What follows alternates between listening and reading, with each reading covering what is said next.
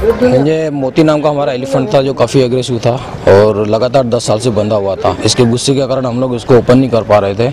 लेकिन आ, बाद में हम लोगों ने नगर निगम ने एक प्लान किया था कि इसको ओपन बाड़ा बनाया जाए।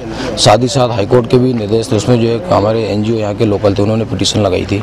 उसी को आधार बनाते फिर हम लोगों ने एक सवा एकड़ का एरिया तैयार किया उसके लिए, जो नेचुरलिस्टिक एनवायरनमेंट से बिल्कुल पूरी तरह से रिच है।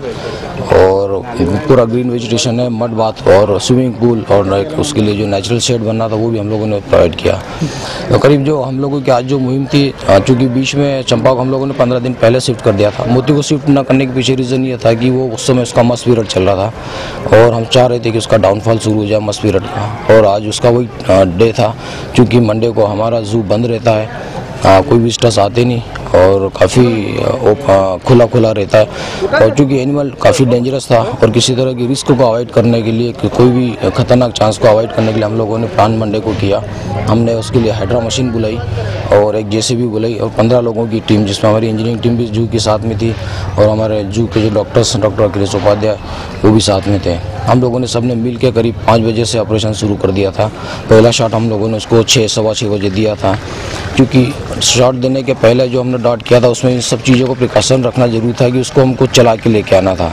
उसको जो ट्रंक था, उसका मूवमेंट हम लोगों को इमोबिलाइज करना था, लेकिन पैरों से चलता रहे। तो इसी तरह के हम लोगों ने प्लानिंग की और कैलकुलेट डोज के तहत हम लोगों ने उसको जो बॉडी वेट के हिसाब से डोज रेट कैलकुलेट किया था, उसी हिसाब से हम लोगों ने फ़र्स्ट शॉट दिया छः पंद्रह पर। दूसरा शॉट हम लोगों ने उसको सात पंद्रह पे दिया।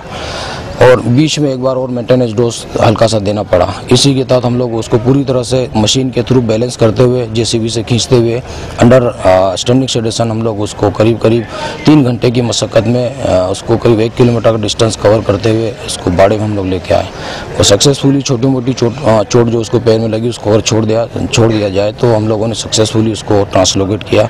चैलेंजिंग हमारे लिए इसलिए था कि इस तरह का ट्रांसलोकेशन हमने कभी किया नहीं था।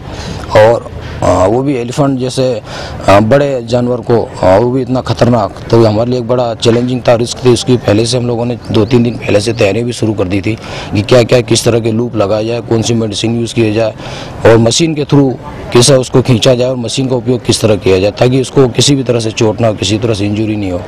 और ये पूरे मिशन में जो हमारे चार से, तीन से चार घंटे लगे, सक्सेसफुली हम लोगों ने उसको बाड़े के अंदर उसको ट्रांसलोकेट कर दिया।